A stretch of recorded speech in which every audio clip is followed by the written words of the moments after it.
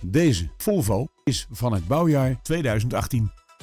Het is een compleet uitgeruste hatchback die van een krachtige benzinemotor is voorzien.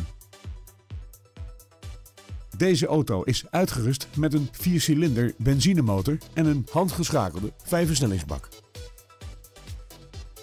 In deze ruime Volvo vindt u onder meer cruise control, een regensensor en een boordcomputer.